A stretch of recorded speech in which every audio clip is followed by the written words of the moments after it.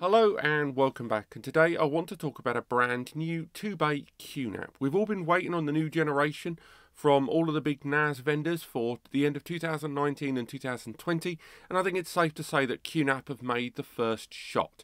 Notwithstanding the 5GBE NASs we've seen previously, we're now seeing more of this new series, the D series.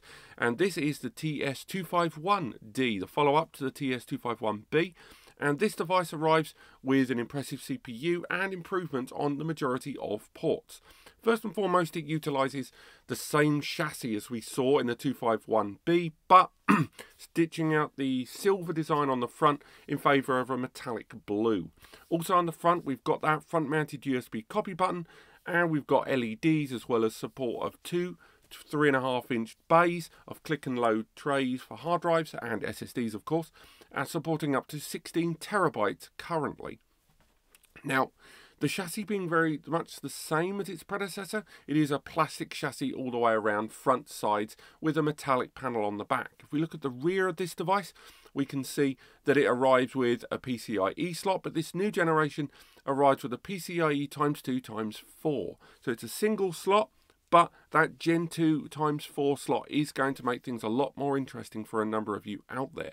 On top of that, its support of greater cards means with the newer generation of PCIe cards coming from QNAP that are dual 10 GBE or some of those 5 GBE cards we're starting to hear about now, we are going to be able to see lots more stuff done with this device and that doesn't even consider SSD caching.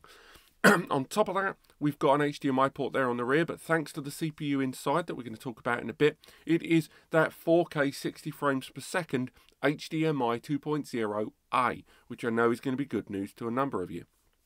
Now, Although we've seen a large amount of change recently in terms of gigabit connectivity, this device does not arrive with higher than 1 GBE ports. It arrives with a single 1 GBE port there on the rear and a combination of USB 3 and USB 2. But just remember that you can connect the QNAP 5 GBE adapter to a number of their devices and I cannot see why you're not going to be able to use the 5 GBE adapter on this device.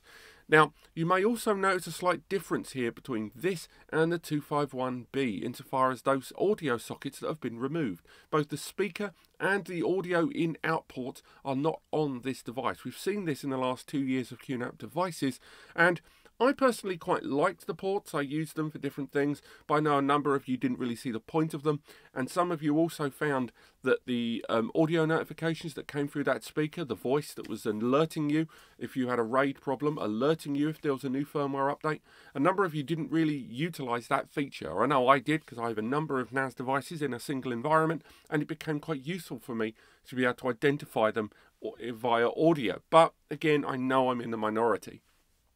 If we look inside this device, we've already talked about that PCIe slot, we can talk about the CPU and the memory. Now, the predecessor, the 251B, arrived with a J3355 um, Celeron CPU. It was a 2.0 gigahertz the uh, CPU dual core that could be burst up to 2.5 and 2 gig of DDR3L memory. I'm pleased to say that things have changed in both regards because it arrives with a newer generation J4 005 CPU, which is a 2.0 GHz dual core processor that can be burst up to 2.7. This CPU also opens up a number of cooler options with regards to what the device can do and connected devices too, as well as support of better hardware attached to it. Also, the DDR4 instead of DDR3 change is a welcome upgrade, with this device arriving by my understanding, with 2 gig of DDR4 that can be upgraded to 8 gig. However, I would double check that just before launch because something like that could easily change. And with the announcements towards QTS Hero and the memory specifications, I believe the entry point for some of the base level features like um, compression and data auto healing, that sort of thing, they need at least 4 gig of memory. So this device may upgrade from 2 to 4 gig at launch, but don't hold me to that. I could see that maybe happening. Now, the price point for this, well, this is an interesting topic and definitely relevant to the time that this video is being published because uh, this device, although no price has been given, we can assume it's going to be similar to that of the 251B, which is about 240, 250 quid right now uh, without that. But it is coming up to Black Friday and end of year sales, uh, your Boxing Day sales, and just basically Christmas promos. So I can see the 251B floating around for some very good prices. So if you're watching this video at launch, which again should be around the last week of November on the run up to Thanksgiving, well done everyone, another year, more turkey then do look around for the TS251B on sale because it is still a really good NAS and I really enjoyed using it both in terms of Plex and running some of those HDMI setups with HD Station as well as that's the one of the units I tested Hybrid Backup Sync 3 on.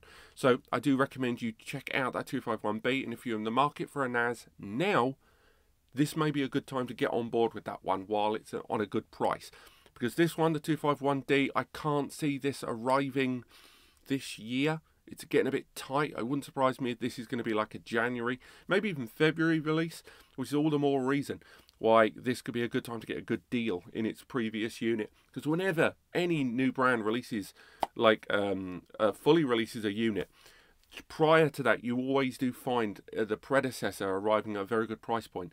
So do take this opportunity if you're looking to buy a NAS now to view this video with in two different ways. One, is this device worth waiting for? And if it's not, is this a good reason to plump for the 251B? Because it rated very well in my comparisons against the DS218 Plus from Synology and the Asustor AS, um, the AS5302T, that Nimbustor 2. Do check those out. But I'm going to wrap things up here.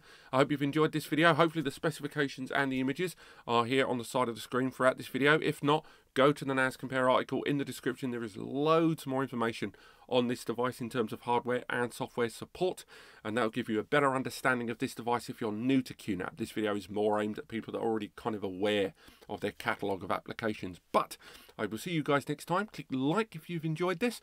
Click subscribe if you want to learn more about the new generation of NASes from all the brands. And I will see you next time.